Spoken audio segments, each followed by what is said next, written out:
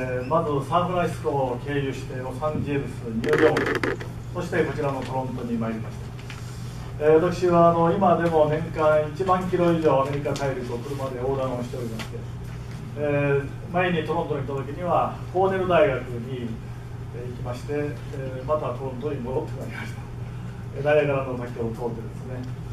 えー実は木慶クラブという父という月刊誌があるんですけどもその読者の会に、えー、木慶クラブというのがあるんですね。ロサンゼルスで、えー、2年前に、えー、結成2周年の記念公演をさせていただきました、えー、ロサンゼルスのホテルで130人お集まりになりましたでしょうか。で実はその時には、えー、最初は歴史の話をするつもりでいたんです。これは父出版というところから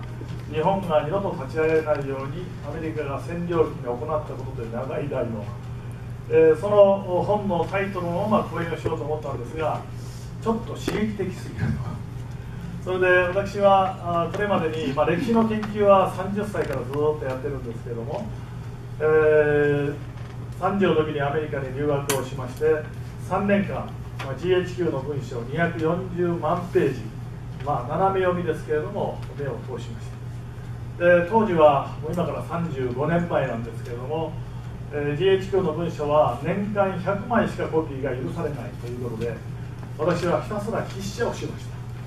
私が筆写した資料だけで段ボール10箱以上あります。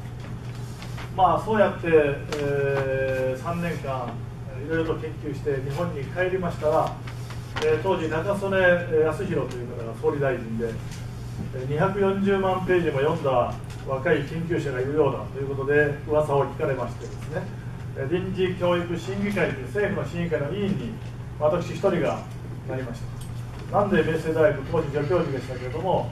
えー、東大の先生じゃなくて一、えー、私立大学の先生が、えー、選ばれたんだということで、まあ、かなり大騒ぎになったんですけども。いやそれは教育用法と法律の第一次資料を調べてみる、まあ、そういうことで、えー、議論しました。で3年間毎週総理府で、えー、議論をしたんですけども私の中に浮かんできた疑問があります。それは制度を変えれば仕組みを変えれば本当に子供は変わるんだろうか。こういう疑問が湧いたんですね。それで、えー、現場主義に転じまして不登校の子どもたちがどう立ち直っているか高校中退者がどう立ち直っているか、えー、いじめからどういうふうに立ち直ってるか教護員少年院でどういうふうに非行少年が立ち直ってるかそういうところをずっとまあ現場主義で回っていた。200300の施設をずっと回りました。そして、えーまあ、臨床教育学っていうんですが実際に理論じゃなくて何が子どもを変えるか何が子どもの心のコップを上に向かせるかということをずっと研究してまいりました。そして、えー、増田政経塾という増田本さんが作った政治家養成の塾の入塾審査員をさせていただき、まあ、研修もさせていただくようになりました、えー、政治家のリーダーをずっと養成してきたんですが教師のリーダーを育てないといけないんじゃないか。そう思うようになって師範塾というのを作ったんです。東京大阪埼玉福岡4か所です。10年以上教師のリーダーを育ててきました。教師の人間力を高めようところがその自信を持って育った教師が次々に教団を去っていったんです。なぜ去ったかというと学級崩壊。皆さん分かりますかね。死後や立ち歩きなどで授業が成立しないという状態が日本を席巻したんです。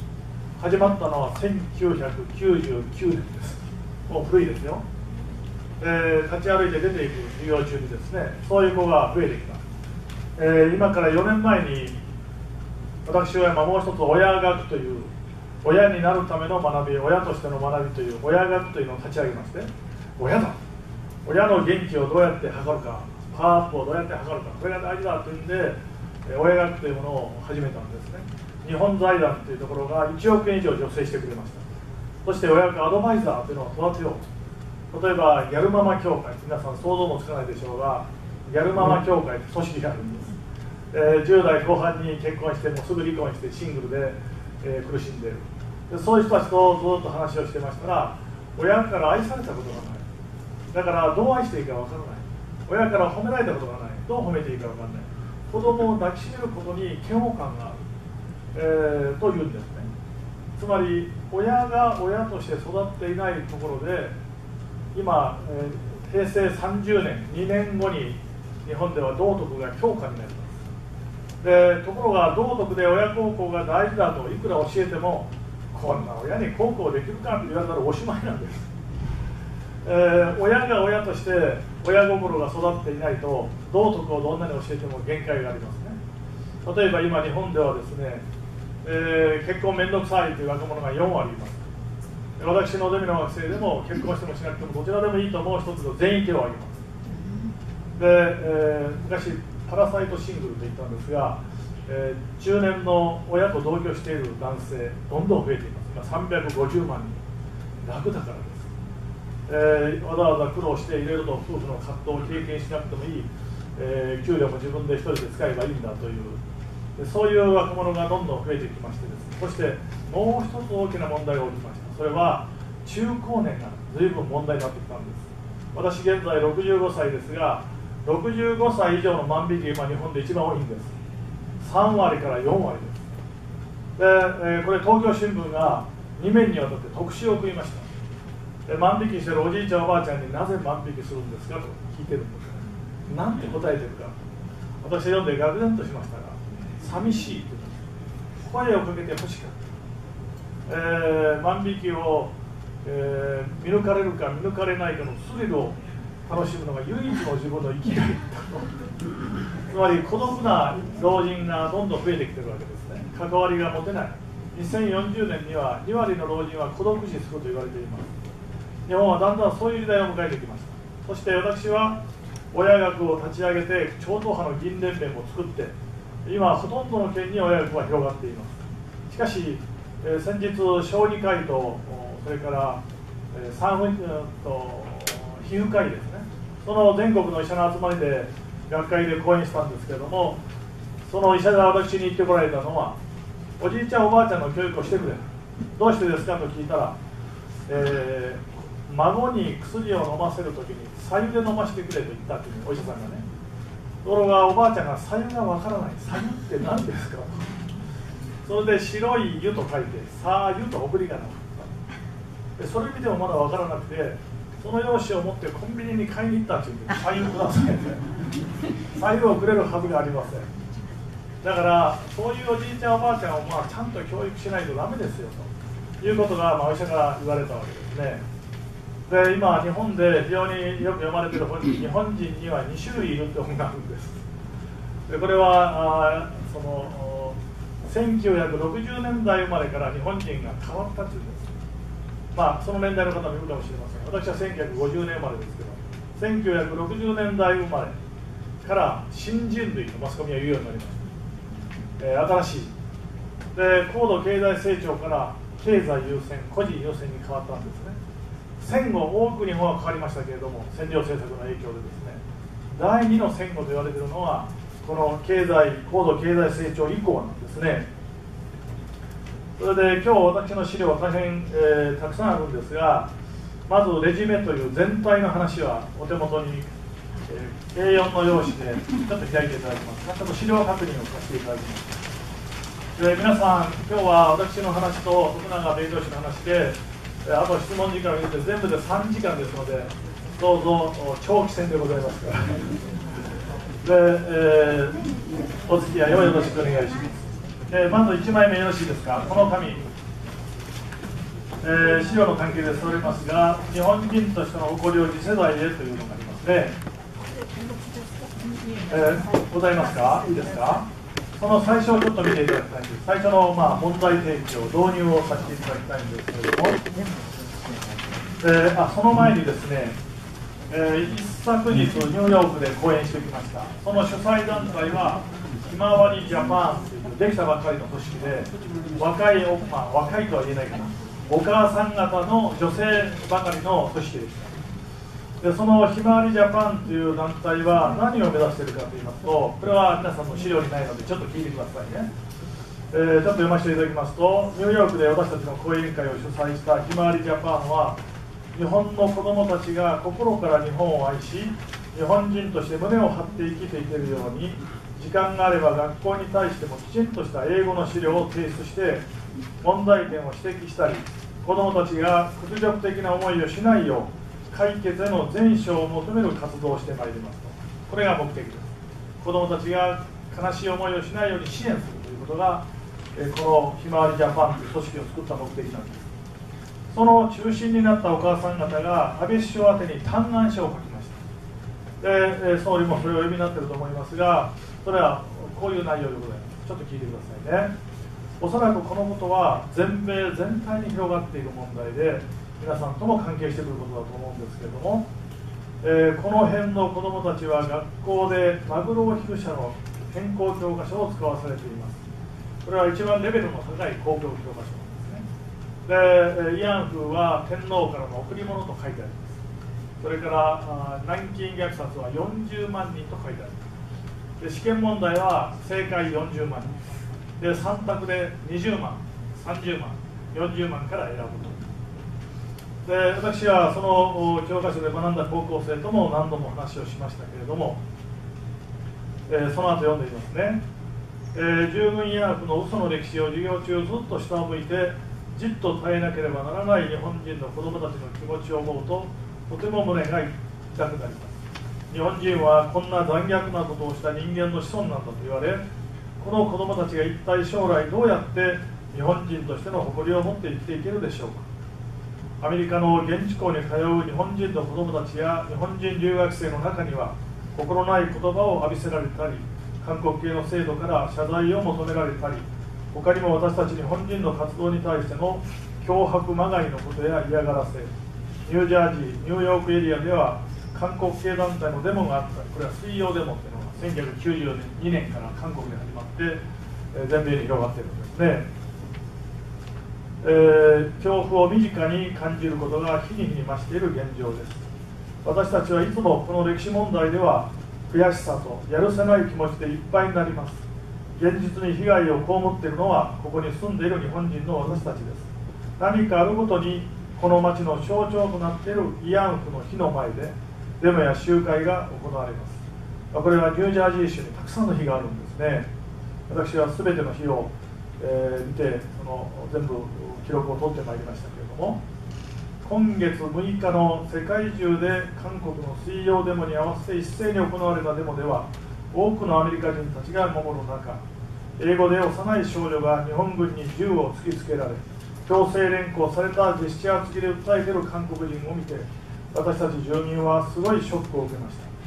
ここで見ている多くのアメリカ人もここにいる警備の警察官さえもが日本人は無国残虐な民族などという印象を持っただろうと思うと非常につらい気持ちになりました。安倍首相にお願いいたします。これから世界に向けて嘘は嘘であると証拠とともに明言してください。世界では日本人特有の玉虫色の表現配慮は全く通用しません。はっきりと言うべきことは言わねばならないのです。そしてそれを海外にも理解できるような言葉で発信し続けるべきです。このままでは韓国の主張する嘘が固定化され私たちがいかなる証拠を出し訴えたとしても人々の心に刻み込まれたイメージを変えることは非常に難しくなります。日本に住む日本人が想像している以上に中韓はアメリカで地道に何十年も反日活動をしています。映像を使いいかに日本軍が残虐な行為をしたか。誰もがこの人道に反する罪を忘れないように永遠に歴史に刻むため世界中でますます活発に工作活動を展開しているのです。日本人はどうか目覚めてください。今が最後のチャンスです。私たちは安倍首相に希望を託しています。これをやり遂げてくださるのは安倍首相だけだと信じています、まあ、こういう力訴状をお書きになったんですね。えー、同じようにカリフォルニアにも同じ思いをしておられる方々がいます。私は、えー、3年前から毎年行っておりますけれども、えー、少なくとも小学校で4件中学校でも4件、えー、高校でも7件大学でも1件、えー、全国で16件いろんないじめや嫌がらせを受けているということが報告されています。しかし現在子どもたちが在籍しているために親は名乗り出ることができない。直接その、えー、例えば証人として、えー、意見をちゃんと述べなさいと言われても子供に迷惑かかると言えないんですところが、えー、そうなるといやそれは本当にもしいじめがあるんならちゃんと名乗り出ろ名乗り出ないのはそれは都市伝説に過ぎない、えー、日本では、まあ、そういうふうに言われていて、えー、名乗り出れないからどうしてもそれは嘘だと、えー、本当ではないというふうに言われてきたわけですね。でこれはあの私も今政府の男女共同参画会議という議員をしておりますので毎年ニューヨークの3月大体中旬の時期に2週間ほどイベントがニューヨークで行われるんですね。そのイベントに、えー、今日来ておられる方も1人お話をされましたけれども三重子グリーンという方がニューヨークで発表されました。でこれは共同の記事になりましてですね大変大きな反響を呼びました。で、えー、和解を訴えましてしかしニュージャージー州ではこんないじめが起きてるんだということを訴えられてそして、えー、しかし実際に名を挙げられないのでお母さんたちは大変悩んでいるというようなこともおっしゃいました。で、まあ、そういう声が、えニュージャージーでもニューヨークでもあるいはカリフォルニア州でもえ切実に起きてきているわけであります。で、えー、つい最近の情報としましてはカリフォルニア州のある公立中学校で、えー、慰安婦の強制連行についての劇が全校生徒の前で行われたというんです。それでその後劇が終わった後に日本人の中学生が日本人にとして恥ずかしくないのかと糾弾されたという、まあ、こういう話も聞こえてまいりました。で、え、こういう時に果たして私たちは何のサポートができるか。私は3年前お母さんたちのグループとお会いした時に、えー、ずっと泣いておられました。ずっと泣いててもダメですよ。子供がそういういじめを受けた時にしっと目を見て反論できるようにしてください。ところがいや反論できる英語の資料がない。英語の資料くださいで、えー、その後ですね今私は西岡努という拉致問題対策の責任者をしている東京キリスト教大学の先生と一緒にいろいろとやってるんですが西岡先生が英語でその慰安婦問題についての冊子を出しになりました、えー、議会にわたってこういうものを出しになった。あるいは南京大虐殺についてもパンフレットをまとめてこれも英文にしました。それから朝日新聞がどういう影響を与えたか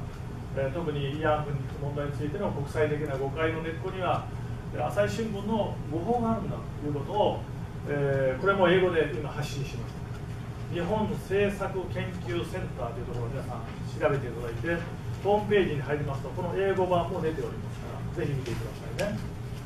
で、えー、それをですねやっと外務省が国連で2月16日に明確に、えー、反論したんです。今まではどうしてもできるだけ穏便にできるだけ対立しないように特に日韓合意を昨年末にしましたから、えー、できるだけ、えー、国際舞台ではお互いに相互批判しないもう最終的かつ不可逆的な解決なんだ。こういうことで、えー、あまり言わないようにという風潮が広がったんですが2月16日には杉山という外務審議官この方が今外務次官です。外務官僚のトップなんですね。どういうことを国連で、えおっしゃったかというとですねまずこの慰安婦問題については3つのポイントがあるんです、えー、昨日も私、えー、このトロントにある慰安婦像を見てまいりましたけれどもそこに書かれている文言というのはほとんど共通しています。それは慰安婦は20万人。それから軍が強制連行した。それから制度例状態であったと。この3点セットと言ってるんですけどもこの3点セットを外務省のトップは国連の舞台で明確に否定したんです。それから安倍総理は国会で中山京子議員の質問に対して約20万人というのは嘘だと。日本軍が強制連行した事実はない。そして制度例というのも事実ではないというふうに明確に答弁した。つまり外務省のえー、日本の総理大臣もそのことを明確に述べたんですね、えー、外務大外務今の外務次官が述べたのはこういう内容でございます、えー、慰安婦が強制連行されたという見方が広がった原因は、えー、1983年に吉田誠二氏が書いた「朝鮮人慰安婦と日本人」という本の中で日本軍の命令で韓国の最終島、まあ、チェジュ島において、えー、大勢の朝鮮女性狩りをした、まあ、慰安婦狩りをしたと彼が、えー、本に書いたわけです。でもこれは全くの捏造でした、えー、新潮45という雑誌の9月号にその吉田誠二という朝鮮人の慰安婦狩りをしたと証言した長男息子さんが、えー、そのことについて批判するインタビューを大高美希という方の原稿の中に述べておられます。ぜひ見ていただきたいと思いますけれども、まあ、その中で、えー、明確にですねその吉田誠二の捏造ということについての批判をしております。えー、詳しくはそれを見ていただきたいと思いますがその朝日新聞によってまるで、えー、強制連行が事実であったかのように報道され国際社会に大きな影響を与えた。例えばアメリカの新聞を全て調べました。朝日新聞の報道と、えー、アメリカの新聞とがどういう影響関係にあるかを徹底的に調べました。韓国の新聞も調べましたそして、えー、根っこにあるのは朝日新聞の報道だと。それはニューヨーク・タイムズも、えー、ロサンゼルスもワシントンもですねワシントン・ポストも全部影響を受けているということを実証的に、えー、解明しました。これも日本政策研究センターのホームページで公開しています。日本語と英語で公開していますから、えー、これはぜひ皆さんもご覧いただければもうこれで説得力は十分であります。事実関係についてはですね、えー、もう少し読ませていただきますとえー、朝日の誤報が影響を与えたんだということを明確に外務審議官が述べました。そしてさらに、えー、日本軍や官憲による強制連行の事実は確認できなかったと明確に否定します次に3番目に慰安婦20万人という人数についても具体的な裏付けはない朝日新聞が女子勤労挺身隊を慰安婦と混同した。20万というのは女子勤労の挺身隊戦時徴用で勤労のために動員された女性。これは慰安婦とは全然関係ない。ところが朝日がそれを混同したために20万というのは慰安婦20万というふうになってしまったんですね。朝日新聞自身が2014年8月と9月に吉田氏の捏造を含め事実関係の誤りを認めて正式に読者に謝罪しているで英語でもいろいろと発信してきたことの中でも朝日は日本では謝罪しましたがアメリカでは謝罪してない。もちろんカナダでも謝罪してない。国際的に発信してきた情報をきちっと、えー、謝罪をしていない、まあ、そのことについては後で徳永弁護士が訴訟との関係でお話をいただくと思います。次に性奴隷ということを主張しているんですが性奴隷という表現は事実に反しているということをはっきりと国会であ国連で述べたわけです。ところがこれは英語で発信されなかったんです。不思議なことです。ところが皆さん8月9日から英文版の外務省のホームページで今私が述べたことは全て英訳されています。ぜひ確認してください、えー、これはその世界に向かって英語で発信しないといくら国内向けに言ったぞ反応したぞと言ってもダメなんです。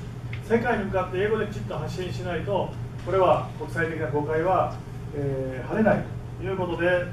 えー、ぜひホームページで英語で発信してほしいということをずっと要望してきたんですがそれを8月9日にやっと実現をしました。さて、えー、そういうことがあったということをまず報告して今日のレジュメに入りたいと思います。でまず第1部と書いておりますが、えー、三島由紀夫の予言という中身を書いてないんですが、えー、これはですねこういうことなんですね。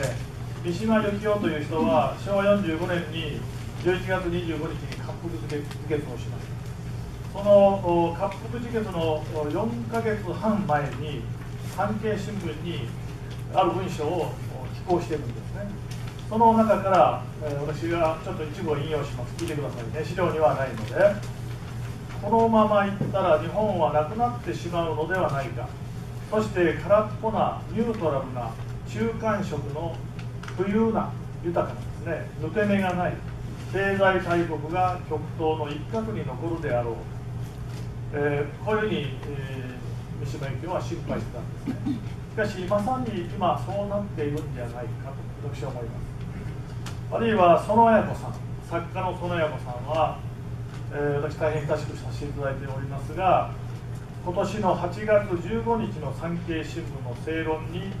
日本人の美徳の崩れが恐ろしいという一文を書きになりましたでこれはどういうものかといいますと精神的堕落というものが雪崩のように増幅している日本人全体なんだ。子供が子供の教育がおかしいとかそういう話じゃない。日本人全体が精神的に堕落しつつある。こういうことを警鐘を乱打したんですね。そして日本人の美徳の崩壊に恐怖を感じる。こういうふうにお書きになった。その次の文章ちょっと皆さん見えますか？私はねじめに書いておりますので、えー、こういうふうにさらに指摘されたんですね。建築の強度偽装自動車の燃費に関する虚偽の申告歴史ある大手企業の粉飾決算など日本人の誇りだった誠実と職人気質を失った姿を見ると私は我が国の将来に暗淡たるものを見る。彼らは仕事の発注者や株主や消費者を騙しただけではない。日本という国を詐欺の容疑で売った新しい売国度に等しいのである、まあ、こういう厳しい文章をお書きになりました。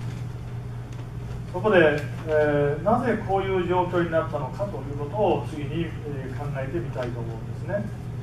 そこで、えー、2度の戦後というタイトルを付けさせていただきます。日本人が誇りを失った歴史的背景は何か。えー、昨年、チェジュ島というところで、チェジュフォーラムいう5000人の国際会議がありました。えー、行徳先生という、まあ、皆さんも来年があたりにこちらで講演されることになるかもしれませんが、80代の大変、えー、立派な方がいらっしゃいます。その行徳先生が日本側の代表団で、突然私、お電話いただきまして、えー、僕、大統領と会うから、先生、来いと言って、電話1本ですね、授業がありますと言っても、問答無用でありまして。えー、その韓国に参りました、えー、日本からは元総理大臣の福田首相が来ておりました。で、えー、各国の元首相クラスがずっと並びまして司会をしたのは韓国の一番大手の新聞社の社長でその韓国の新聞社の社長が福田さんに質問しました。日本では安倍首相が日本を取り戻すということを何度も言ってるけども日本を取り戻すとはどういうことか取り戻す日本とはどういうものかと聞いたんですね。私は大変鋭い質問をしてくれたと思って福田さんがどう答えてくれるかなと期待をして耳を傾けていたんですがそのことに答えませんでした。スルーしてしまいました、まあ、答えられなかったのかもしれません、まあ、多分忘れたとは言えないと思うんですけども。大変残念な思いをしました。で行徳先生はえー、安住君って皆さん分かりますか？伊藤博文を暗殺した韓国では英雄がいるんです。その安住君を行徳先生は大変尊敬していましてでお墓を大事にしたり、えー、韓国の人たちが自国を温かい目で見るつまり愛国心を育てるために安住君を英雄として教えることに対しては敬意を表して安住君は立派な人物ですと言って称えられました。でその後話が終わった後多くの韓国の方々がヨド先生に泣きついてこられて先生も、えー、尊敬すると言って涙ボロボロ流しながら抱きつかれました。私はその姿を見ながらああこういうつながりをしていかなくちゃいけないんだなと。つまり私も今は、えー、安住君は確かに日本人にとっては英雄ではありません。伊藤博文が暗殺したんですから。でもお互いにまず義務教育の段階では小学校中学校の段階では自分の国をあったかい目で見るという子供を育てることが基本だ。今日本の子供はこのコップが下向いています、えー、例えば、えー、自己肯定感とか自尊感情がほとんど日本の子供にないんです。特に高校生ですけどね。で、えー、それは日本に誇りが持てない、えー、これは私カリフォルニアでも同じだなと思ったのは講演が終わった後ですねある方が来られまして自分の子供が22歳でアメリカ国籍を取るか日本国籍を取るかって選択が迫られると。ところが日本は何も自分の国のことを説明しない。きちんとものを言わないからもう日本人にはなりたくないと言っていると。でそういう思いを持っている若者がいるということを総理に伝えてくださいと言って詰められた。これを忘れられない、えー、今回のお話でございましたね、えー、まあ、日本がきちっと物事を説明しない。どうしてもこの論争を避けると正面から議論するということを避けようとする傾向がある。でこれがね文化遺産という明治の産業革命が文化遺産で登録されました。これも韓国とちょっと揉めましたね。でこれを日本で仕切った当事者は加藤孝子という内閣参与の方で加藤睦月という議員の娘さんであります韓国はこの明治の産業革命に対してもう次々に資料を用意してですね。でユネスコ関係国に徹底的にその宣伝をしたっていうんです。ところが日本はそのことを全然知らなくて私も入手して読んでみたらとんでもない日本の戦時徴用っていうのはアウシュビッツのようにとんでもないことだ消化村塾なんていうのはとんでもない教育だということがどんどん言われる。あるいはアンプロー君という皆さんもあまり読んだ見たことがないでしょう。あアンジェリーナ監督の映画でこれはもともとの英語の本は300万部以上出ているというベストセラーですね。で私はニューヨークで最初の風紀の日に行かないと見ましたけれどもえー、大体130分ぐらいの時間の中の半分ぐらいは拷問場面。日本人の残虐性が強調されてアンブロークそのものの英文を読んでいると、えー、日本人にはその肉を食べるという人肉を食べるという習慣があるということが書いてある、えー、まあ、そういうようなことがあその書かれている本がベースになってるんですけれどもこれを DVD で各国の人たちに見せてるっていうんです韓国側ですね。このことと明治の産業革命何の関係もありません。かしいかに日本が残虐かということを強調するためにそういう宣伝をしている。で、えー、それに対して日本は、ま、できるだけ韓国とは揉め事を起こしたくないというのできちんと反応しない。で戦時徴用というものとアウシュビッツとは全然違うんだということもきちんとものを言わなくちゃいけないんですけどもそういうことはできるだけ避けようとするで、えー、ところがアジアの諸国がですね中国韓国以外のアジアの諸国は日本に対していや日本の明治の産業革命は我々の憧れだモデルだと。日本のように私たちも頑張りたいんだと。なぜ日本は韓国にそんなに遠慮するんだ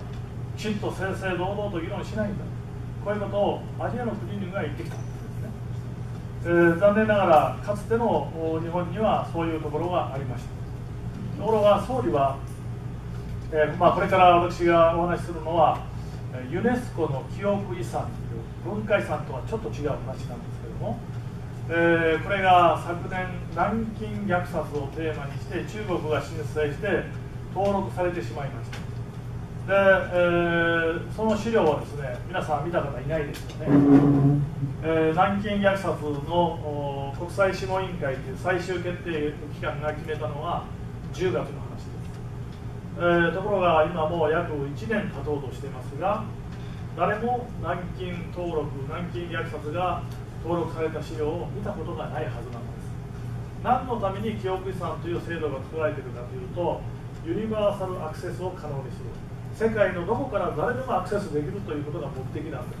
ところが皆さんこの中の誰一人として見た人はいないということはなぜ、えー、公開しないかというと公開できない資料が含まれているから。で今日はですねできるだけ分かりやすい資料でお話をしますと、えー、今日の資料の中に、えー、この資料がありますが正論の、えー、8月号に書いたもの。あのこれはもともと袋に入っているこの大きめの印刷になっているもの。です、えー、タイトルは「南京の二の舞は許されない。慰安婦共同申請資料の欺瞞」という題です。ありますか？ありますね。これをちょっと見ていただきたいんですが。で、えー、細かく見ると皆さん疲れますので分かりやすい写真を見ましょうね、えー、まず2枚目の裏を見てください2枚目の裏2枚目の裏のこの写真ですこの写真これは中国がえー、慰安婦を輸送した船といって、えー、タイトルをつけて申請したものですね。で、えー、現物を見るとこれなんですけども、これなんですね。これを中国は慰安婦を輸送した船と名前を付けて申請しました。しかし、よく見てみるとですね、確かに慰めるという字はあります。でも安婦はないそしてここに万国旗がかかっていて、えー、ここには慰安婦ではなくて男性ばかりが並んでいる。そしてよく見るとこれはウクライナの民族衣装です。ここにロシア語がちょっと出てくるこれはロシアとの国境の町あたりをうろうろしていた慰問団といいまして当時殺伐とした戦、えー、この兵隊さんに対して落語家とか歌手とかそういう芸能団の方が行って、まあ、慰問をするというそういうその慰問団が運ばれた船なんです。で、えー、それを書いたのがこのところなんですけれどもそれからもう一つ、えー、その上の写真はですねこれはよく見ると慰問符に慰安婦じゃなくて慰問符と書いてあるの分かりますか？25万円の仕入れ金をという話があるんですけどもこれは慰安婦じゃなくて慰問婦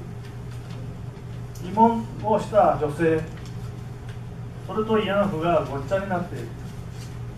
それから次のページですね。次のページはこの写真なんですけれどもこれは黒竜交渉の慰安所の写真と中国が申請したんです。しかし皆さんよーく見るとですねこれが慰安所かなと、まあ、これ見るだけではピンとこないかもしれないんですがよーく見るとこれ舞台でここにスクリーンに映されたものがあるんですね。これ白樺の木で道があるんです。でこれは慰問団が講演をした行動です。で今日も下の方で日本の映画をするところをちょっと見せていただきましたがその慰問団が講演をしている会場であってどこにもこの写真について、え、撮影者も撮影時期も場所も明記されていません。こんなものは、え、世界の記憶さんとしてふさわしくない。あるいは今日は持ってきませんでしたが16枚の、まあ、いわゆる偽写真と言われているものも含まれている。これは日本兵が、えー、首をこう惨殺しているという写真有名な写真ですけれどもそれはよく調べてみるとその兵隊さんの靴の影の姿とか当時の服装から見てこの南京虐殺の時期ではない。つまりこれは、えー、明らかに南京虐殺の写真ではないんだということを、えー、明らかにこれは日本で南京学会という団体が団体が明らかにしました。そして、まあ、そういうことを日本人は指摘してきましたのでどうも分が悪い。南京虐殺で資料は登録されてしまったけれどもこれを公開すると国際的な批判が強まる。ということを中国は懸念したようであります。そしてもう一つ実は今回ユネスコの記憶遺産に登録申請された。これが実はこの文書。なん。ですこれは皆さん誰でも見ることができますユネスコの事務局に入ってウェブサイトに行きますと、えー、全文が、まあ、全文じゃないんですけど一部公開されています。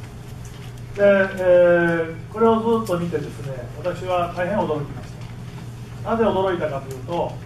昨年10月に私は外務省と一緒にアブダビというところに行きました、えー、そして中国からは中国人ヤンという本を書いた、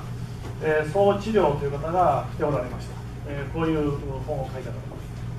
で「チャイニーズ東方と移民」という本はオクソー大出版から出ておりますでこの中で、え、中国人ヤンフは20万人全体のヤンフは41万人という説を説いておられる41万人初めて来ましたその根拠は何かということをつぶさに調べていくと合理的な根拠は見つからない、えー、そのことをいくつもの論文で明らかにいたしました。そして、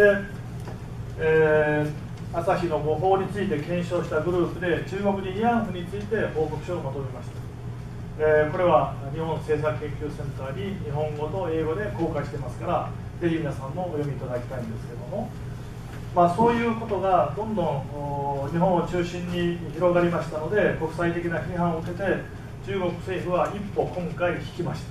た。で韓国政府は日韓合意ができたので、えー、実は慰安婦の共同申請8カ国がやったんです今回ですね。5月の末日に締め切られまして。そして、えー、当初は中韓国の政府が主導するだろうと思っていた。ところが昨年末に日韓合意ができましたので韓国政府はもう国際舞台ではあまりそのことを批判しないということで引いたわけですね。そしてアメリカ中国政府もいろいろと不利な批判が高まっていますのでこれ以上はっていうんで一歩退いた入って交代を余儀なくされたと言った方が正確ですね。そこで前面に出てきたのが日本の市民運動団体あるいは研究者たちが前面に出た。んですさてそのことが今回これから大きな議論になるわけでございますが、えー、まずお手元の資料にですね、えー、このカラーの写真があります。これございますか？この写真。カラー印刷それから A3 の資料で、えー、この産経新聞に書きました、えー、実証発言で発信で反日記憶阻止をというこの私の文章を出してください A3 の用紙で A3 の用紙ありますか私の顔が載った3段の、えー、これは産経新聞の日付書いてませんが8月31日付です。よろしいでしょうか？でここに、えー、どういう問題点があるかを整理しましたのでここは読み上げることで先に進みますいいですか？この今回、えー、南京虐殺に続いて慰安婦が8カ国14団体から共同申請されたんですがその資料は、えー、どういう問題点があるかということを申し上げます。まず一番上の段ですね、えー、申請資料最後の段落でございます。後ろから9行目あたりですね。申請資料の問題点の第一はベトナム戦争時の性暴力や朝鮮戦争時の韓国軍慰安婦などを不問に付し日本軍性奴隷などと呼びその証拠方法について具体的証拠も挙げず、えー、性的奉仕を強要された。強制的に奴隷されたその日本軍だけが性奴隷を強制連行したと。こういうことを言ってるんですがじゃあそのベトナム戦争や朝鮮戦争時のことは問わないのか。日本だけが悪い。のかと第2番目です、えー、2番2段落目の2行目でございますね。申請書によれば慰安婦制度はホロコーストやカンボジアのジェノサイドに匹敵する戦時の悲劇だと。慰安婦の証言は歴史的に、えー、文書と照合したと明記していますけれども、えー、その証言をずっと調べていますともちろん、えー、正直に述べておられるところもありますが、え証言に矛盾がある点もありまして客観的に検証されていない。つまり客観性の点で問題がある資料もたくさんあります。第3これが一番問題なんですね。今回申請された資料2744件のうち最も多いのは証言や慰安婦の絵作品なんですね。次に多いのは運動資料。なんですそれは、えー、韓国には兵隊長組織がありまして日本では女たちの戦争と平和資料館という、えー、団体がありますけれどもそういうところがやってきた運動運動の資料ですね、えー、これが非常に多くを占めております。果たして現在進行形の活動資料が、えー、記憶遺産にふさわしいのかという議論が第3番目の問題点であります。それから第4これが先ほど皆さんに見ていただきたいといったこの写真ですね。赤い色をした写真。これは拡大しますとこういうものなんですけどもよーく見ていただきますとこれは元慰安婦が描いた絵なんです。え木に縛られているのは昭和天皇です。昭和天皇を木に縛り付けて三丁の銃でこの横に2つ真ん中から、えー、まあ、昭和天皇をに向けて、えー、銃を向けているというこの絵が実は、えー、女性国際戦犯法制といいまして弁護人はいないんで民間で、え天皇を性奴隷と強姦の最高責任者として裁いた有罪と日本政府には、えー、責任がある。天皇と日本政府を裁いた判決がこの女性国際戦犯法廷というものですけど、まあ、それを開いたのはこの慰安婦の絵を見て、松井弥生という方が、えー、提案をして実現したのが世界女性国際戦犯法廷ですね。その他にここにあるような絵がこれはどちらとも元慰安婦の絵ですけども真ん中の青い色が入っているのはこれは強制連行されている慰安婦が引っ張られているということを書いた絵ですね。だからこれは慰安所の絵ですね、まあ、こういうものが、えー、申請されている。このこの絵が申請されているかどうかはまだ確認できておりません。しかし、えー、おそらく含まれているだろうと私は思います。なぜならば韓国が2008年に、えー、こういう慰安婦の絵とか治療記録を3060点国家指定の記録物にしてるんですね。でそれを今回大幅に申請してますので含まれている可能性が強い次に見ていただきたいのはこの慰安婦像の写真ですね。えー、全米各地に出ている慰安婦非慰安婦像、まあ、これらが今回のユネスコ記憶遺産の登録申請にこの写真が掲載されております。そして説明として、えー、世界的な意義というものが強調されています。社会的意義精神的意義。で、えー、つまりこの慰安婦像には慰安婦20万制度例軍の強制連行ということが共通して書いてあるんですがもしこれが世界の記憶遺産として認められれば記憶遺産という制度は史実を認定する制度ではありません。だからこれに登録された全部史実が正しいとは言えないんですけどもしかし世界の記憶遺産に登録されたらやはり世界が認定したユネスコが認定したと皆さんが誤解しかねないわけですね。そういう意味で非常に重大なものがあると思われますね。さて続いてこの私の問題点産経新聞に書いた問題点を読ませていただきますと第4にというところですが模擬裁判で昭和天皇と日本国を人道に対する罪で有罪と、えー、言われなき判決を下した女性国際戦犯法廷や平和の少女像、まあ、これはいわゆる慰安婦像のことですけども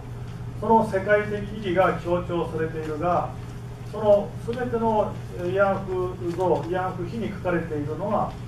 慰安婦20万軍の強制連行制度令3点セットかしそれらはいずれも歴史事実に反しているということを安倍総理は国会で明確に述べられた。そして2月16日に外務省の代表も国連でそれを明らかにして英文でホームページでも発表された。次に第5ですけれども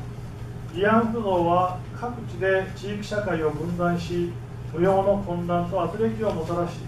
複数の訴訟が起きている、まあ、その一つがこの後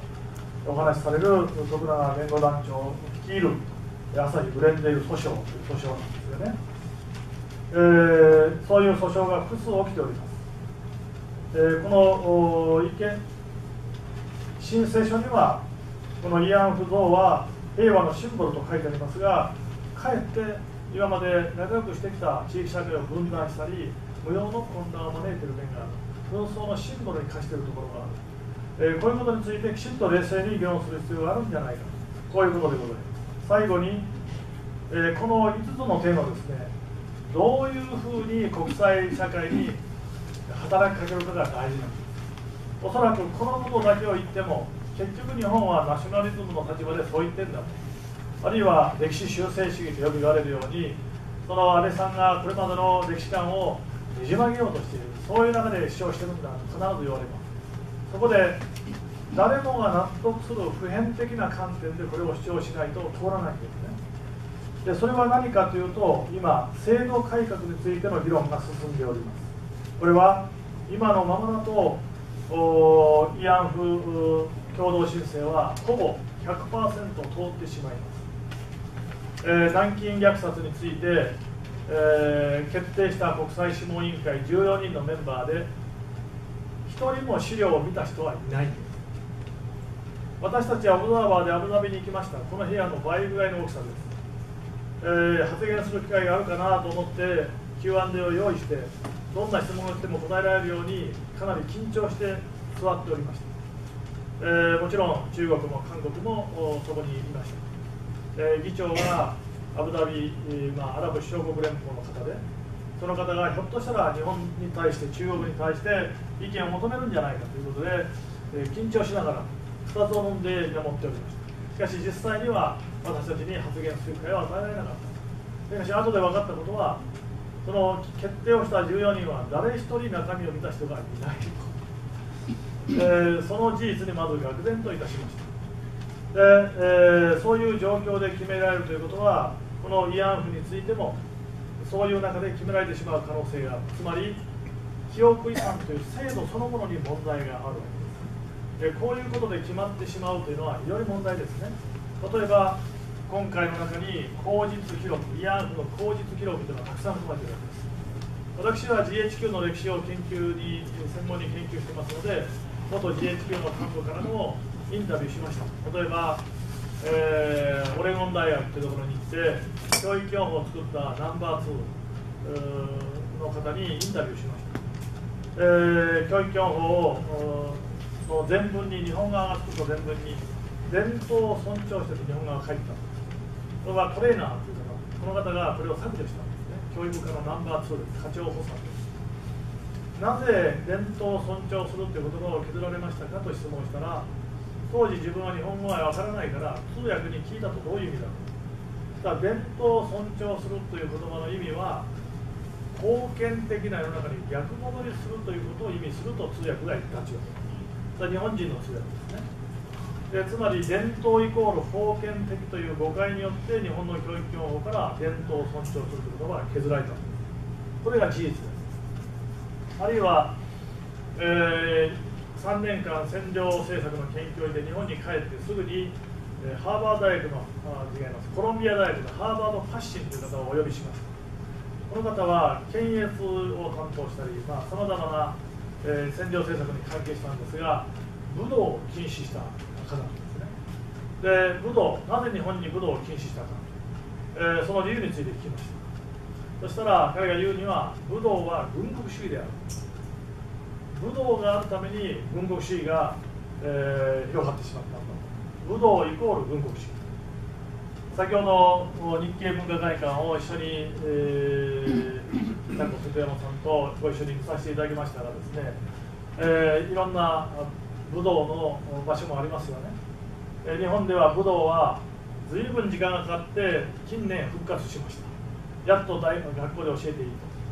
と。でもなんでこんなに武道が復活するのに時間がかかったか皆さんお分かりになりますか？日本人の中にも武道っていうのはちょっと危険なものがあるというふうなまだ、えー、自信喪失があったんです。で武道と軍国主義は関係ありません。ところが、えー、日本の誇りというものがなぜ失われたかというとこれは私は War Guilt Information Program というのをずっと研究してきました。もう30年以上。日本人が今反日日本人という言葉は皆さん時々聞くかもしれません。反中中国人ってあまり聞かない。反韓韓国人もあまり聞かない。でも反日日本人っていうのは非常に多いです。なぜでしょう？か、えー、ジュネーブやニューヨーク私も、えー、ニューヨークの女性の地位向上委員会の、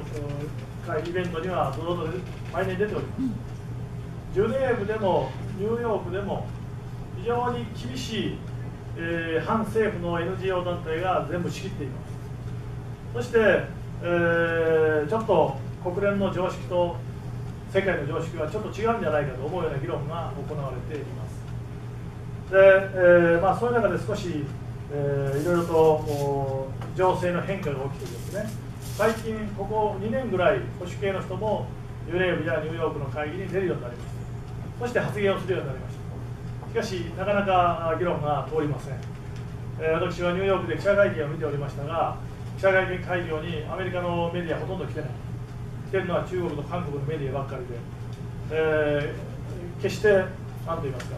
国際社会に対する説得力ある自己主張ができていない。かえって皆さん引いてる。から日本の立場を説明すればするほどあれは歴史修正主義だと言われて、え、どうも逆に逆効果をもたらしている。もっと淡々と感情的にならないで世界に発信する道はない。このことは第一次資料に基づいて淡々とできるだけ感情的にならないで時間がかかるかもしれないけども必ず事実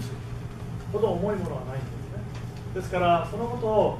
えー、実証的に、えー、残していく必要があるということに焦点を合わすことが大事だというふうに思っております、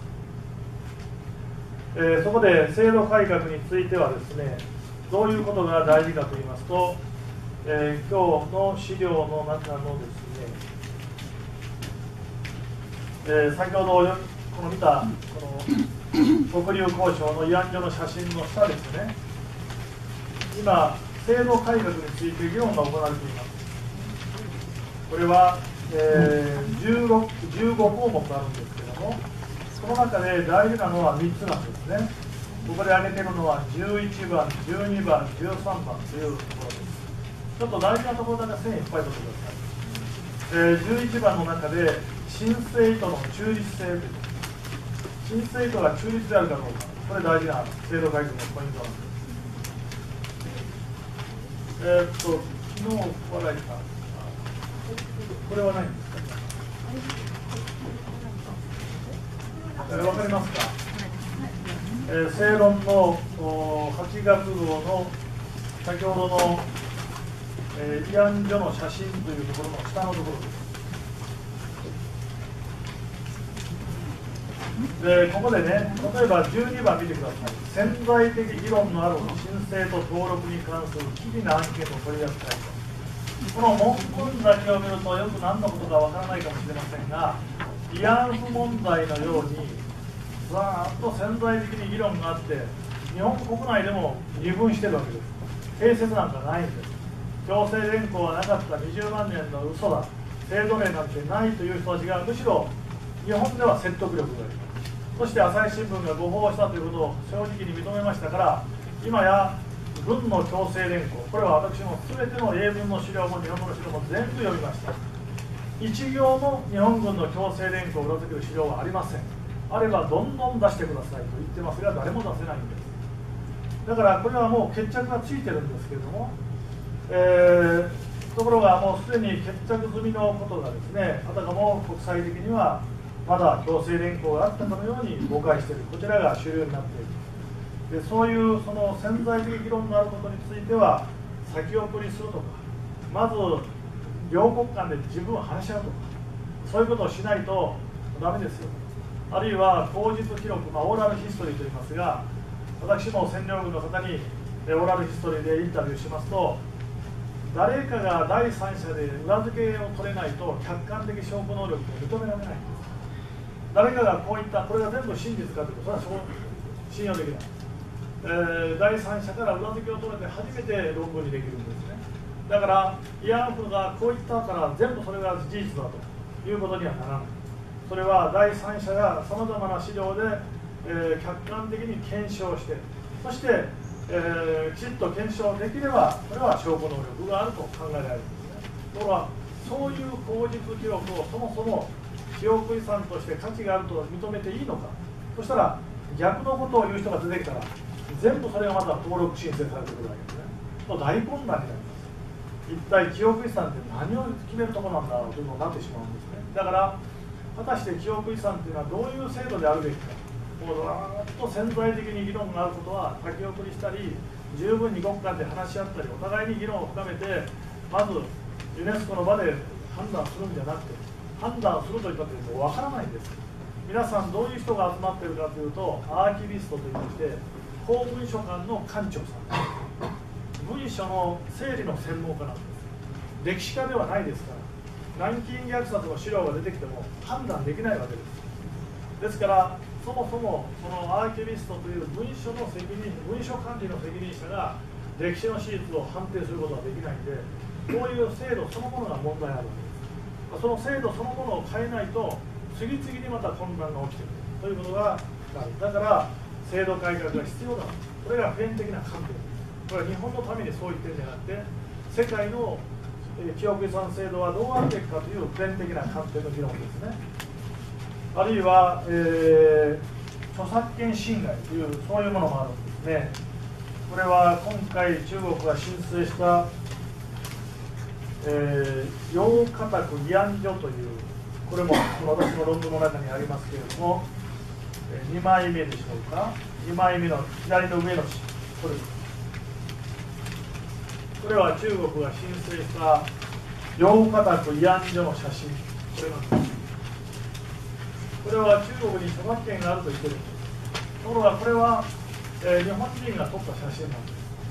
娘さんが福岡で産婦人会議をしていて著作権は自分たちに合うということを主張して外国人記者クラブで抗議しました中国はこれは中国に著作権があるんだと言って主張しているんですね。で著作権侵害だということは明らかなのでこういうことはイデオロギーや政治的なことは関係ないので誰もが納得しますね。そういう普遍的な観点で議論することは大事なんです。著作権侵害のものを果たして認めていいのかという議論ですね、まあ、そういう制度改革の議論を今一方で先行しております。それから元慰安婦の絵でこれが少し衝撃的な絵なんですけれども、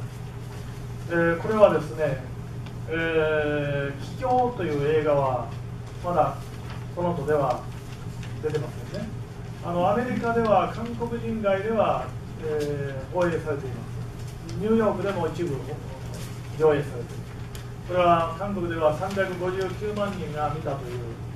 えー、朝鮮人慰安婦の映画なんですけれども、えー、これはトラックに慰安婦が詰め込められてその少女が焼かれているという絵なんです。これも元慰安婦の絵です。これがきっかけになって作られたのが桔梗ですね。その映画の冒頭にこれは事実に基づいて作られた映画であると書いてある。そうすると少なくとも359万人を超える韓国の方はこの少女が焼かれているっていうのが事実だと思い込むでしょう。そして、え、韓国の教科書にはこれがもう事実として書かれています、え、現在使われている韓国の、え、近現代史の教科書を見ると朝鮮人慰安婦11歳12歳。これはその女子挺身隊の中にはそういう方がいましたけど若い。しかし慰安婦が11歳12歳で慰安婦にされられたというそういうことではないんです。ころがこれが教科書にも書かれている慰安婦証言として11歳12歳の証言が出ているそして先ほど申し上げた女性国際戦犯法廷が多く教科書が書かれています。判決文が多く書かれている天皇は強姦と性奴隷制度の最高責任者だそして有罪であるということが書かれている考えばやっぱりこれが事実だということになりかねないわけでございます。えーあとはその論文をお読みいただければいいと思うんですけれども、えー、次にですねまたレジュメに戻らせていただきます、えー、私の A4 の資料の全体の今日の流れを書いたレジュメをご覧いただきたいと思います。でまずこの War Guilt Information Program ということについて、えー、書いてございますがこの War Guilt Information Program っていうのは日本人に罪の意識罪悪感を植え付けるために、えー、占領軍があ巧みに、えー、やった情報宣伝計画をしてるんですね。でこれが反日日本人のルーツになっております。でそれがどういう影響を与えたかということを少し申し上げますとですね、えー、戦後すぐに作られたのが新教育指針というこれはえー、今で言えば学習指導要領にあたるものが、えー、新教育指針というんですけれども、えー、これが、えー、教師のバイブルになりましたでその中で、え、どういうことが言われたかというとですねまさに戦後の教育がここからスタートしたんですね、えー、日本の現状と国民の反省という題でこう書かれています。どうしてこういう状態になったかというタイトルですね。日本がこういう敗戦を迎えて混乱をしているのは日本人の考え方に誤りがあってこういうのがこうなった。んだ、えー、日本人のものの考え方に多くの弱点欠点があるために戦争になって、えー、敗戦になったんです国民全体がこの点を深く反省する必要がある、えー、教育者としてこれをはっきりとしなくてはならない、えー、では日本の国民性の欠点や弱点は何か。5つ分かってまず第一の欠点は皆さんちょっと判断してくださいね。本当にこれは日本人の国民性の欠点かどうかね。日本はまだ十分に新しくなりきれず古いもの封建的と言われるような生活が残っている。2番目。日本国民は人間性人格個性を十分に尊重しない。3番目。日本国民は批判的精神に乏しく権威に傍受しやすい。4番目。日本国民は合理的精神に乏しく科学的水準が低い科学的水準が低かったらノーベル賞こんなに取れないです。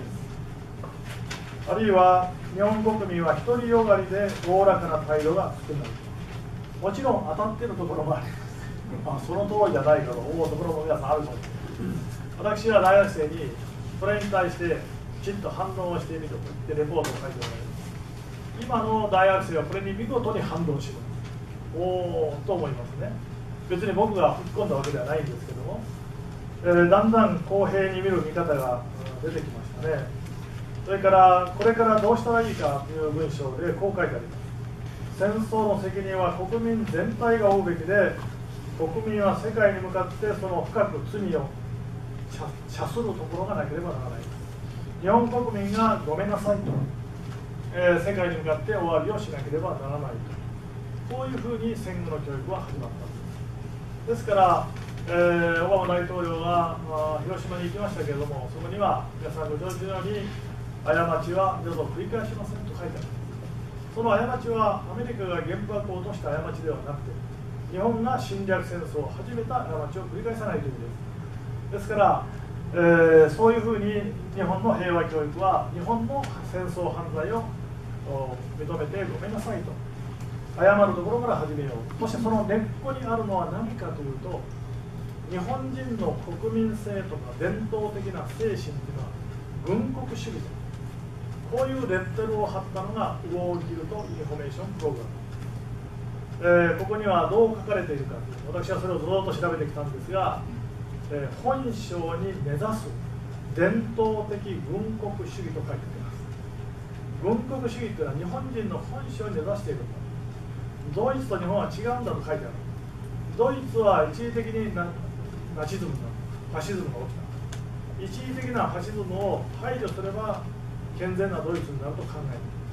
しかし日本は一時的にファシズムになったんじゃない。全体主義になったんじゃない。国家主義になったんじゃないもともと日本の精神そのものが病んでいる。軍国主義だ、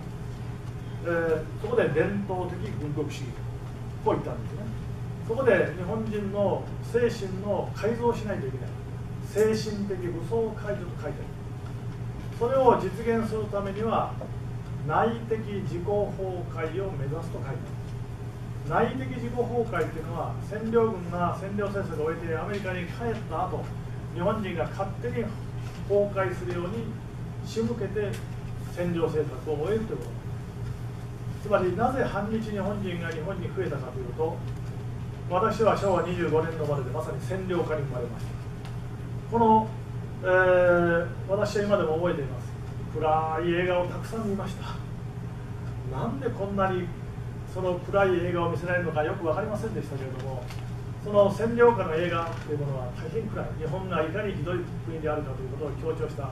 それがいまだに残っている映画を私はよく覚えております、えー、当時日本人は自信を失いました、えー、そしてこれを徹底的に書いたのは菊と刀これは前回ちょっとお話をしたと思います、えー、もう今日はその菊と刀の話はしませんがぜひアメリカの鏡日本という本をぜひ皆さん読んでいただきたいですね。読んだ方はいらっしゃいますか？あのその論文も今日の中に書いてますから。アメリカの鏡日本というのはアメリカ人アメリカで、えー、占領中に、えー、やってきた女性が書いたものです、え、立派な公平な本です。アメリカにも日本にも両方に対して、え光と闇を両方見ている公平な本です。ところがこの本はあ戦後日本でマッカーサーが翻訳を禁止しました。そしていまだにアメリカ人には読まれていません。私はカリフォルニア州で古本屋さんを回りましたがあったと思ってみたら20万円です。いかに読まれていないかを象徴しています寄付と刀は多くの方が知っていますね。つまり寄付と刀は、えー、これは戦略論文で、えー、ロース・ベネディクトははっきり書いています。狙いを定めてどこに狙いを定めれば日本人が自信を失うか、えー、つまりそれは日本の精神そのものが病んでいる。日本の精神そのものが軍国主義だと。こういうレッテル割れが大事だということですね。であ今配られておりますのでこれはあの後でゆっくり読んでいただければ結構です。で、えー、なんとですね1942年にこの War Guilt Information Program を陣頭指揮した方が、えー、日本精神日本美と獣っていう論文を書いている。で皆さん日本美と獣っていう論文にどういうイメージを持ってますか？私は美と獣っていうタイトルを見てあこれは菊と刀と同じ問題意識だと思ってます。つまり日本人は菊をめでる美しい感性を持ちながら刀に走る軍国主義になる美と獣っていうのは日本人の二面性を追求してるわけですここに敵の本質があるんだっていうのがこの両方に共通しているものですそして日本の神話は首狩りの習慣がによって貫かれている南京虐殺を予言しているのは日本の神話の国ですまあ詳しいことは私の論文をぜひ読んでください、えー、古事記の神話と南京虐殺何の関係もありません。とんでもない濡れ衣ですけれども、えー、日本の昔話の中に、えー、その我が子の首を撃ち落とすというのがあってそういう残虐性を日本人は持っていることを示唆しているとこう、えー、書いてで、えー、そういうその日本人の精神日本の道徳というものを、えー、日本人には道徳なんてはない道義というものはないんだと書いてある戦前の日本は道義国家と言われます戦後は経済国家になります道義なんてものはないんだというのが War Guilt Information Program です日本人は道義というものを大事にしてきた民族だと思ってきました。しかしその道義を持った日本人が過去も南京虐殺をし従軍ヤーフを強制連行しとんでもない若い少女をレイプしたんだと。この南京虐殺とヤーフ強制連行というのは日本人の道義に対する道徳心に対する自信喪失に最も有効なわけですそしてああ日本人は道義豊かな国家だと思ってきたけれども美しい日本というのは本来そういう心を持った日本人その日本の美しい心を取り戻そうと安倍さんは言ってるんだと。しかしそれは美しい心なんてものはない。日本人の心っていうのは軍国主義なんだ、えー、こういうふうにレッテル貼りをしたのが、えー、 War Guilt Information Program で見事にそれは成功しました。今日なお、えー、この慰安婦問題と南京虐殺がトゲとなってえー、日本人はとんでもない残虐な民族だという誤解が国際的にいまだに広がっているわけですね。さて次に、え今後に向けての話に移りたいと思います、えー、ここで、えー、1枚目の私のレジュメの一番下でございますがこれからは説得力ある自己主張が必要だということで新たに日本で歴史認識問題研究会というのを9月1日に立ち上げます。え西岡努という拉致対策の責任者をしている人と一緒に私が共同代表になりまして、えー、研究会を立ち上げてこれから何をしようとしているかといいますと海外発信です英語で発信することをまず研究誌をどんどん出していってシリーズの英語のシリーズをどんどん出していって国際的なネットワークをきちっとつないでえー、そういう発信に全力を挙げるものを作ろうと、えー、それを9月からスタートさせます、えー、ぜひ皆さんとも連携を取りながら、えー、これからいかに、え、海外に向かって、え、きちんと日本の立場を、まあ、第一指導をできるだけ発信するということに力を入れたいんですがそのことに力を入れたいと思います。さてその裏を見てください。A4 の資料のレジュメの裏でございます表だけの実は裏もある。んですで今日の講演のまとめをこれからさせていただきますが、えー、国際人の3条件ということをここに書かせていただきましたこれは私が政府の審議会が終わって、えー、国際学校を作ろうというこれは文部省の委員会です、えー、国が選んだ6人のメンバーがありましたところが文科省を選んだ6人のメンバーの意見が真っ二つで分かれたんです。国際人とは何かという議論です。できるだけ日本人であるという自覚を忘れてしまうことが国際人だという人が3人。それは違うんじゃないか。日本人の自覚の上に国際人というのは成り立つんじゃないかという人が3人私は後者であります。が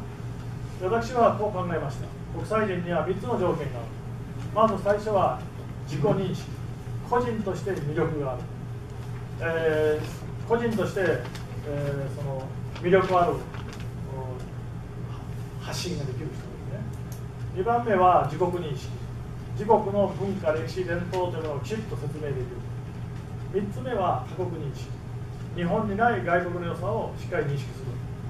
その他国認識自国認識自己認識この3つを条件にして国際人って成り立つんじゃないかと。こう考えましたそしてもう一つ和の精神。日本の心の一つは和の精神と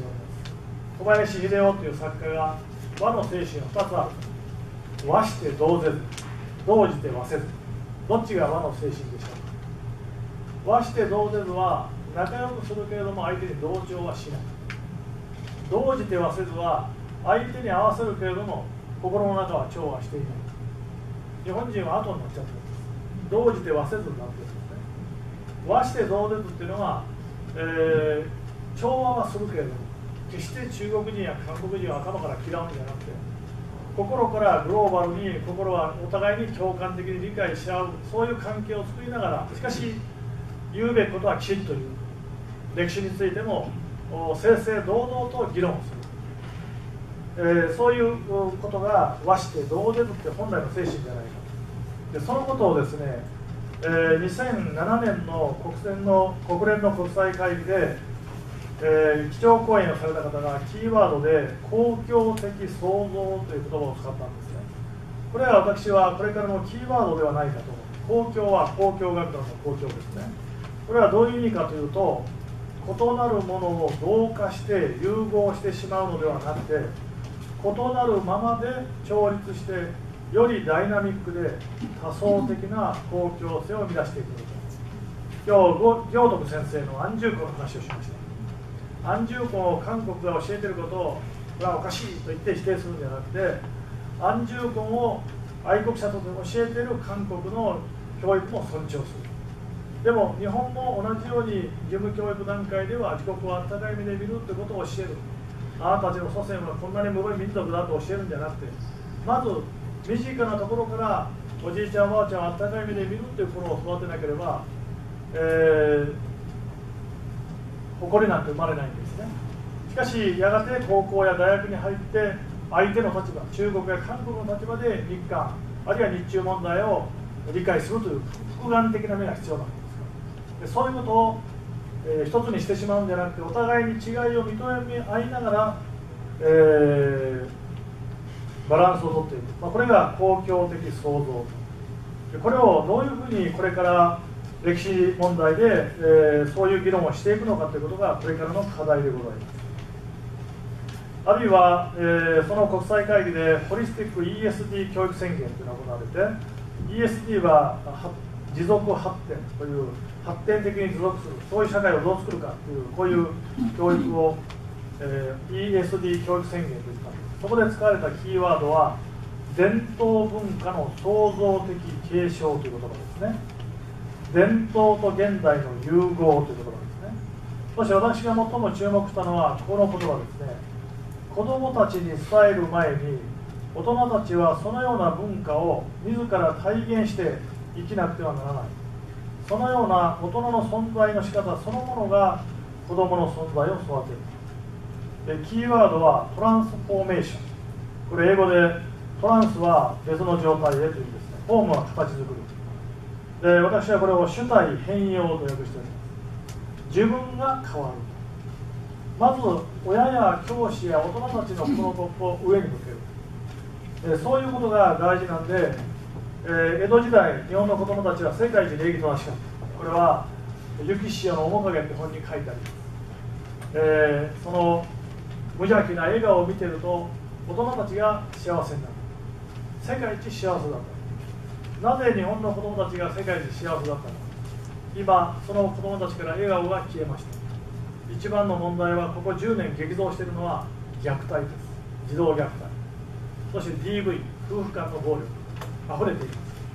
平成24年の統計で離婚率3割を超えました。そして先ほど申し上げたように家族の絆とか夫婦の絆とか次々崩壊している私は親学ということを始めたのはそういう状況を何とかしようと思って始めたんですが今日本のベストセラー「母という病」というのベストセラーです。母になれない。父という病もベストセラーです。夫婦という病もベストセラーです。家族という病は50万60万も超えました。つまり家族や妻や夫や夫婦であること自体が難しくなってきている。つまりどんなに日本の、えー、日本に帰れと言っても日本を取り戻せと言っても美しい日本はどこにあるんだ？どの家庭にあるんだ？かつて大平総理大臣は家庭基盤の充実というのを、えー、トップに挙げたんですね。大事なことは家庭基盤を充実するこ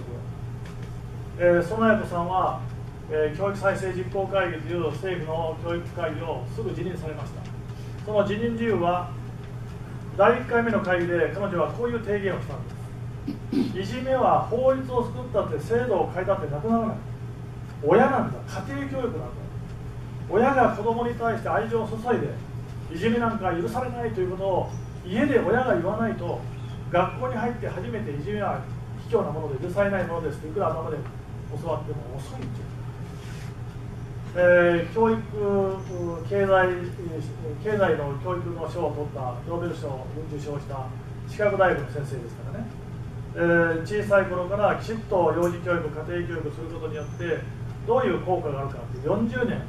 追跡しますね。そして、えー、発達障害の子どもの率が減ってると。あるいは年収も小さい頃やればこんなに上がっていくんだということを40年追跡して明らかにしましたね。つまり何が言いたいかというと今教育というものは、えー、予防いじめも非行も発達障害もさまざまな問題は小さい頃に全力を挙げないといけない。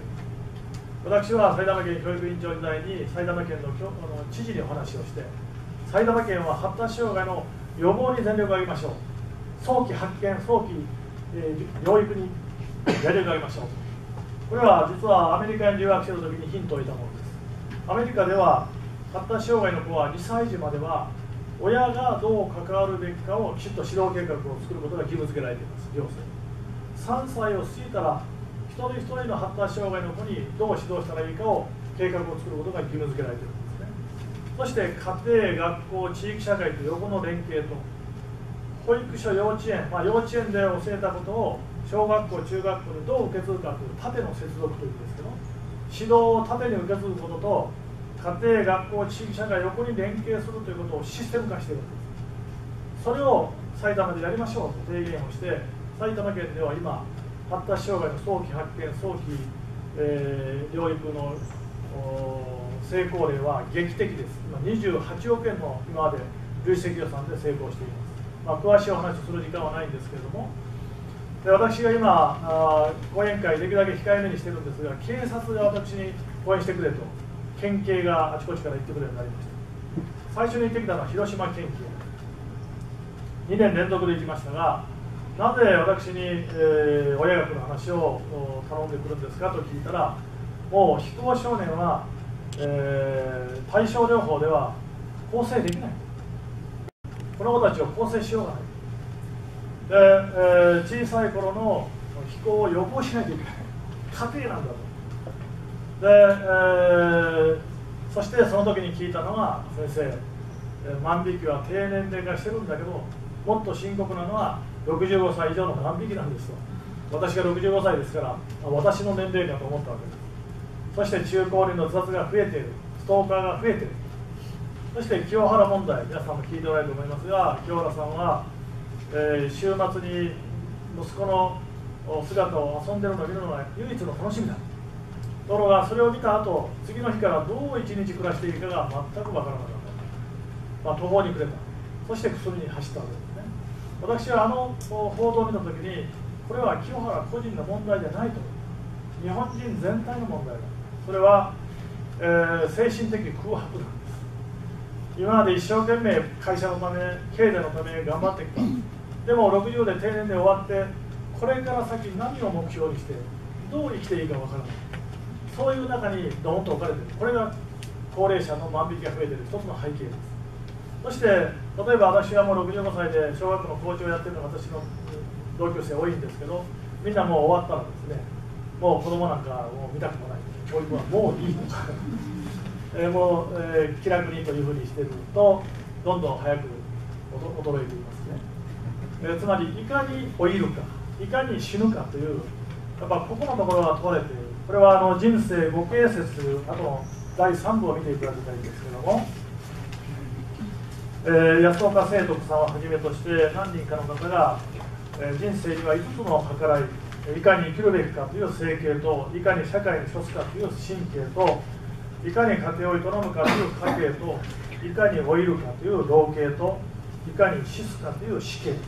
この5つの刑が必要特に今欠けているのは家計と、あ、老系と死刑ですね。私は草柳泰造という方と若い頃30代の頃仙台テレビで毎月対談をしておりました。その時突然草柳さんが私に今日は死にがいをテーマでやろうとおっしゃって私はびっくりしたことがあって死にがいなんて30の頃に考えたことがなかったから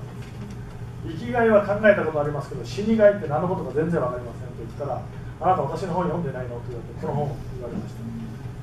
でその中で飯田座骨のことを書いておられてこれは俳句を読んでる俳人ですね。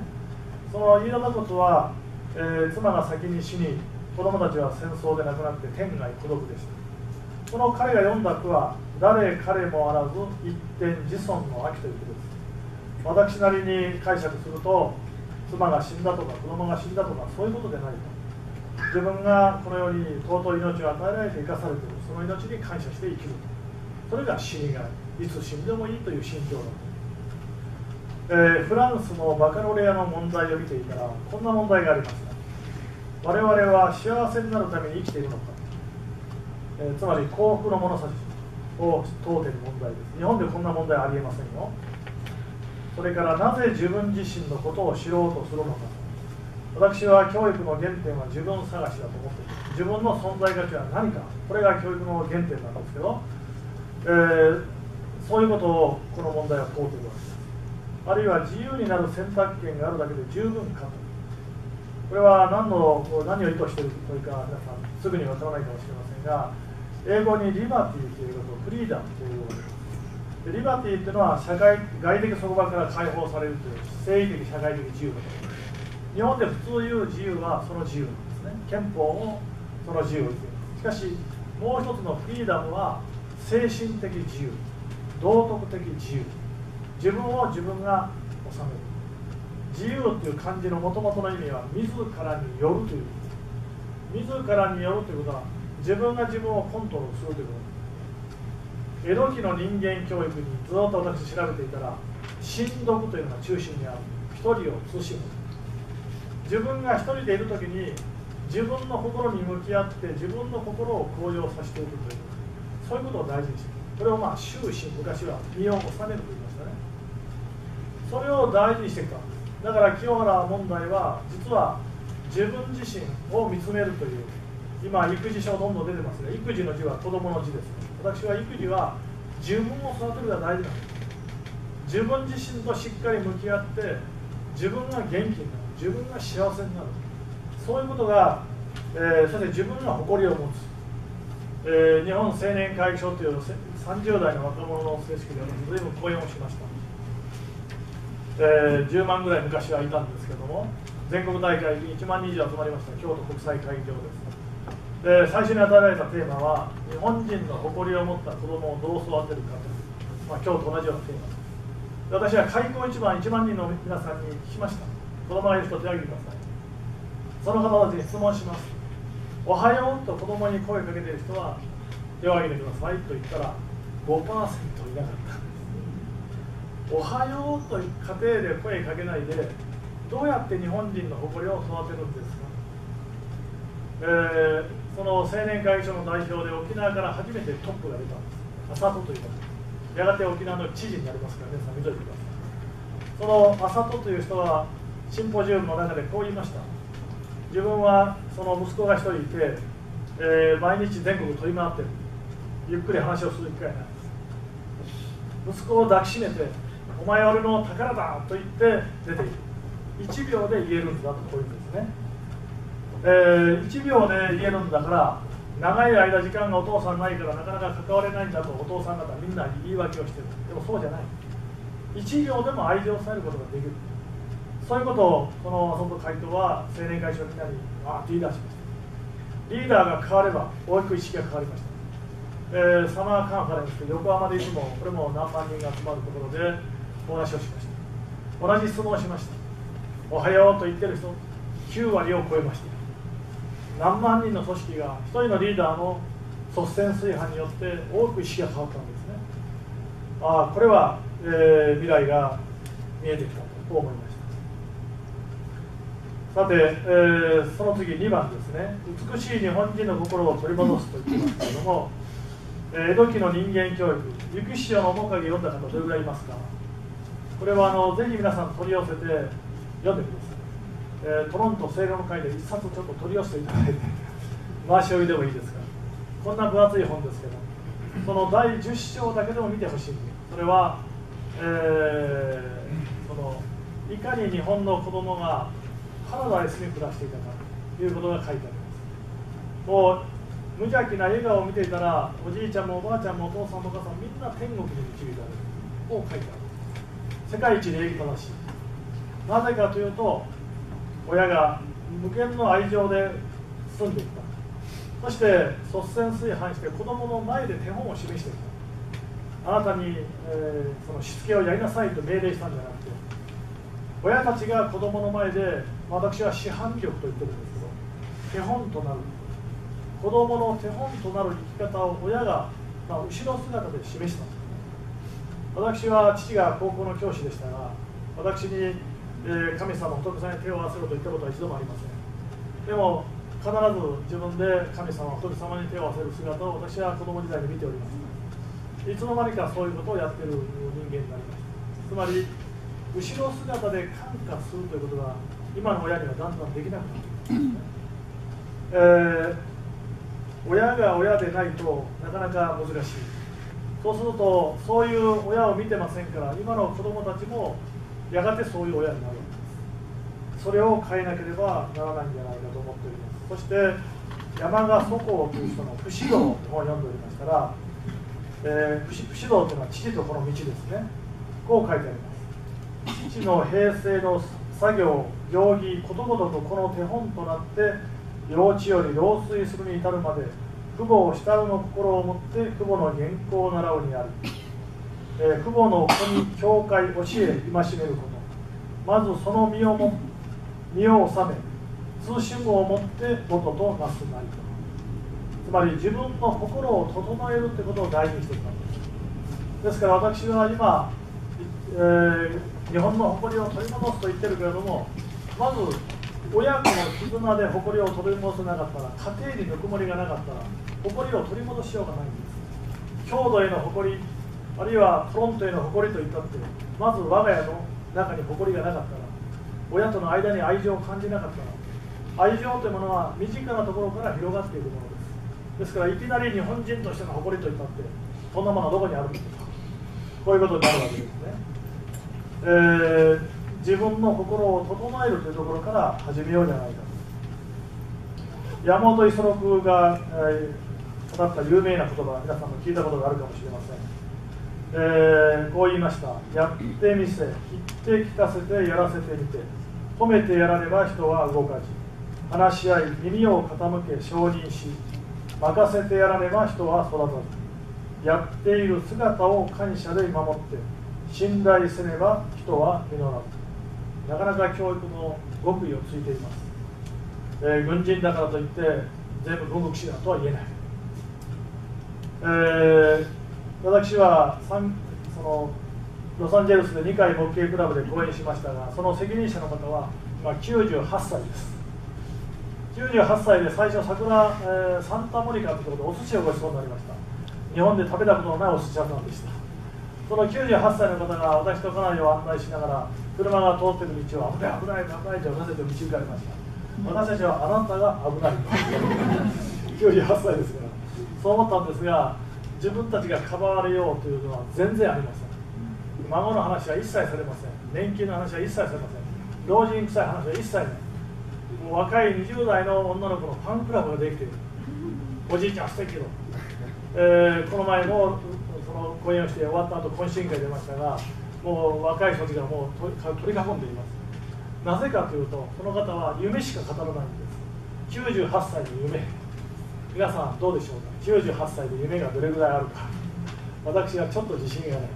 98歳になったらいやどうかなと思うんですけども。その方今朝起きる時ですね。朝起きると右手を上げて「おはよう朝一って言って起きるそうです。毎日メールでいろいろ来ます。高速道路をルンルン気分で走っている実に若々しいですね。で、えー、ラスベガスで100歳のあの記念あの記念をやりたいとか私はぜひ知出版から記念の本を出してほしいというふうに思ってるんですけどもとにかく会うと元気になります98歳で元気になるんですから素晴らしい。まさに、えー、死にがいを持っている。から本当に若い若々しい。話題が若々しいです。で若い女の子すぐハグしますよで、えー、同じようなことを感じたのが日野原重明という清六病院の院長です。私は日本財団の主催で一緒に講演したことがあります。彼も6年後まで、えー、週3日の講演をもう入れておりました。いや6年後どういう健康状態か分かりませんよね。196歳になりますのでで100歳になったらネパールで誕生祝いをやるとおっしゃいました。小沢誠治にもう式を頼んでいると。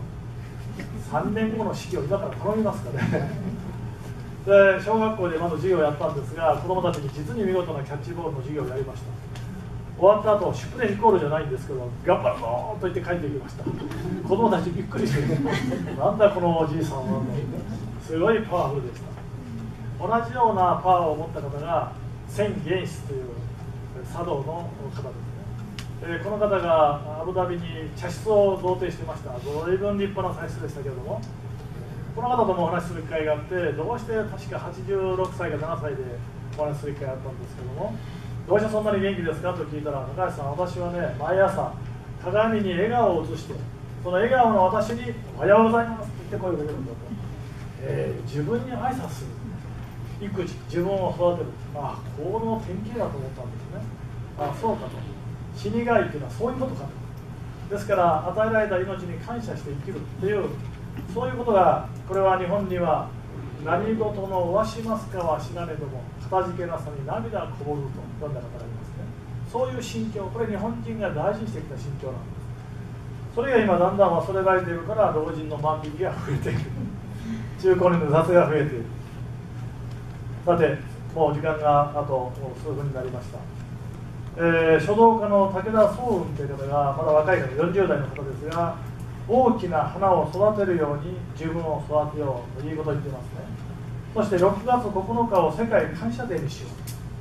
ういい提言をしています。世界でありがとうという日を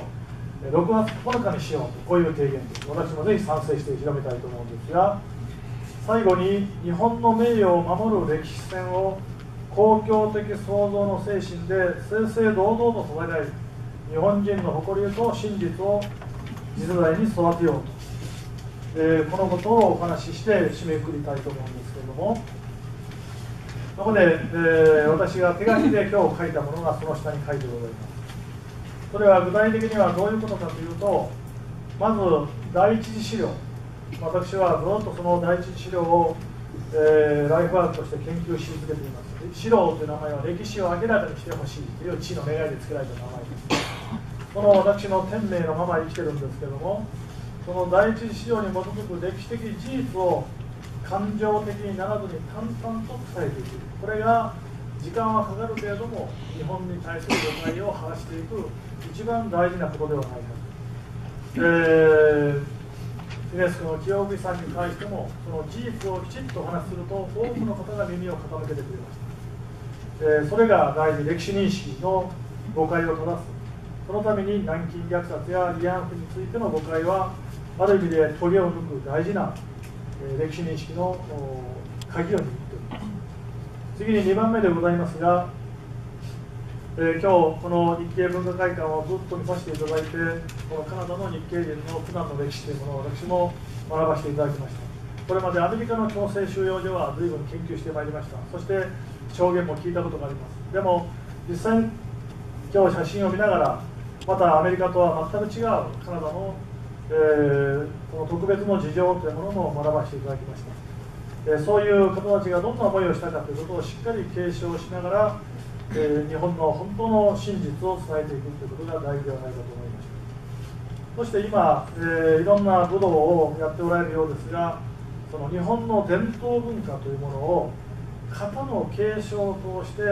日本の心を得得してもらうというこれは共感的理解を深める道です。私は台湾の大学で記念講演をしました。それは、えー、日本の礼儀作法を韓国の大学の正規の授業科目にしたいと2つできたんです。そして、えー、日本のおもてなしの心を学びたい。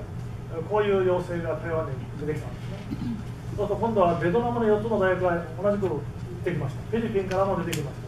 た。香港もやりたいと言ってきた。で今中国は茶道ブームで、えー、もう茶道、まあ、茶道日本で茶道ですね。茶道で中国の大学生がもうひっきなしにそこに入ってきてるっていうんです。これはある意味で日本の伝統文化というものがいかに、えー、この南京問題とか慰安婦問題に対立してても日本の文化の根本にあるものに惹かれているか今日も少し日本食の街をずっと歩いていましたがあまり何ですか、えー、名古屋の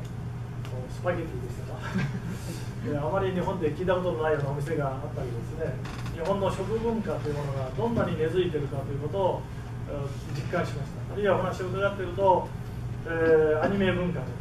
日本のお祭りに4万人とか3万人とか多くの方が集まってこられるということも聞きました。でそういう日本の伝統文化というものに対する共感をいかに歴史につなげていくかということが今後大事になってくるんではないかと思っております。えー、それから、えー、3番目は率先炊飯する。まず大人が子どもの手本となる、まあ、私は師範力と言っていますが、えー、そういうまず大人が手本となることが大事じゃないか。そして世界に信頼されるグローバルな人材を育成したい。ぜひ和の精神と公共的創造ということを大事にして皆さんが今この、えトロントでいろいろとお感じになっている皆さんにしか持って皆さんだけしか持っておられない問題意識というものをぜひ発信していただいて私は、えー、ロサンゼルスの親たちと話をする中で皆さんがどんな思いをしているかということを初めて知りました。そしてそれ以来、えー、カリフォルニアとニューヨークとお、まあ、ニュージャージー州ですね。そしてトロント。できるだけ毎年、えー、何度かお邪魔をしてそして皆さんと会話を深めて日本というものをどうやって発信していくか日本の文化をどう発していくかただ誤解を解くだけではなくて歴史についての誤解は解いていかなくてはいけませんがもっと日本の文化の深いところをもっと共感的に体験できるようなそういう場を広げていければなと思っております、えー、最後にもう時間が過ぎましたのでこれで終わりますけれども後でご質問を受けたいと思います。ありがとうございました。